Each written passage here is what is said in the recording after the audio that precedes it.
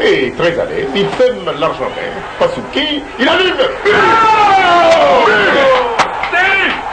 Oh Vincent Renato Pasuki, mystifié Rodriguez battu. et archi battu, un tir croisé. Alors là, c'est un grand travail solitaire. De Vincent Padio. aussi que c'est un très grand monsieur. Oui, Vincent Padio est un très grand monsieur. Le sens de l'honneur de savoir quand il faut jouer un grand match alors que... Égalisateur De Escuredo, Escuredo. Osvaldo Salva. Très belle balle euh, à Escuredo qui trompe en selle. Presque dans le même style hein, Oui. que le premier du stade. Oui. Va lancer du côté de Moreté. Moreté qui file, s'enfonce dans la défense. Escuredo, but. Escuredo, but. Ah oui, ça va vite. Je disais qu'il avait peur. Deuxième but de... Il bouge beaucoup. Ah oui, mais la discipline tactique euh, va faire la différence. Eh oui. Nous avons obéi un peu l'enthousiasme dans le début, mais là ça va être très difficile. Il joue beaucoup sur les ailes. Oui. Et les 20e créations- minute. Oui. 20e minute donc, euh, ce deuxième but qui est signé par très difficile. C'est plutôt à Camiezan qui cherche et trouve cette rentrée de touche. Vincent Padio devrait marquer. Oh là là Ouais Ouais Un but d'anthologie. But d'égalisateur Vincent Padio rentrée de touche.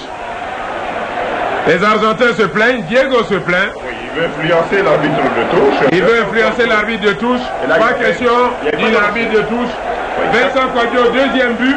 Il fallait le marquer ce but parce Et là, que et là, je sais on avait le repeat d'ailleurs, vous avez pu le voir, il était en dehors du rectangle, de la zone de vérité. Et puis, il a vu le gardien qui était vers le premier poteau, il l'a battu sur le deuxième. Pensait que Il c'était a- balle d'ailleurs par terre et qui allait sortir. C'était, moi je pense que c'était un tir d'anthologie. c'est vrai, c'est vrai. Et puis sur une rentrée de touche, je ne vois pas de, de position dangereuse. Non, non, non, mais je pense que c'est bon, le football africain a sa vérité. Et c'est Ramon qui euh, va contrôler pour Diego, qui repousse euh, le ballon de la tête, Escuredo, qui lance Diego, qui cherche à faire le pont et qui marque. Voilà. Diego marque. C'est un exploit individuel et jeune. Oui. Il faut le dire, euh, ça a été longtemps attendu. Oui, il, il- il a sauvé peut-être son match. Oui, je ne pense pas que son image euh, ne soit pas tellement... Son image est un peu entachée. On aura beau sur le plan du spectacle, la qualité du rendement. Mais en efficacité, il a eu son petit but, qui était utile Mais- pour cette équipe de Boca Juniors. Peut-être. Oui, surtout, c'était quand même difficile à marquer. Oui. Mais Ouais. je ne sais pas ce qui s'est passé. stade de d'Abidjan, voici le développement sur le côté gauche, dans les pieds de Trobiani. Trobiani qui lève la balle. Diego, il contrôle le volleyball. Oh, arrêt blocage en face du numéro 3, qui était Arsène Hachi. Il a voulu partir sur le premier poteau. Il est revenu sur son gauche. Hachi absolument fixé au sol et éliminé. Et naturellement, le pauvre Ansem, là, cette fois, c'était très, très, très difficile. de- Impossible. Ah oui, là, c'était vraiment difficile de parer. Parce que c'était un exploit. 36e minute. Diego a marqué. Attention, et cinquième but. Cinquième but. Signé. Numéro 11, non, Escudero encore. Il était deux sur la balle. Oui, il était Escudero. deux, mais c'est Scudero, je crois, qui a marqué. Il était avec Brindisi, il était accompagné de Brindisi. Oui. Finalement, je pense que c'est Escudero.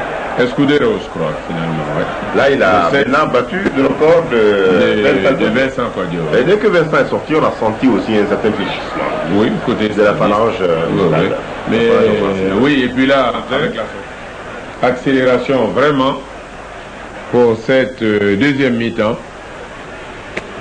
Il y a donc 5 à 2 maintenant et Rodriguez va récupérer ce ballon.